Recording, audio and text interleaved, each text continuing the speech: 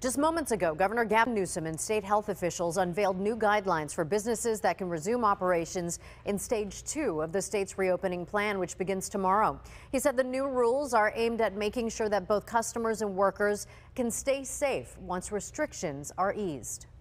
We're moving away now from essential and non essential to lower risk and really looking uh, more specifically within that lower risk sector uh, at the variations on frequency uh, and uh, the time, as I say, and manner to which these businesses engage with customers uh, and how that impacts risk to customers and more broadly uh, the community. We're also providing checklists uh, these are not mandatory, but we encourage establishments, particularly uh, customer-facing establishments with retailer, uh, in particular, put checklists up so people know as a customer, you feel a lot more confident uh, why these things are being done, that they are being done, and sanitation and all these other uh, uh, things in terms of physically moving things around to the extent possible uh, to allow people uh, to feel safe and protected.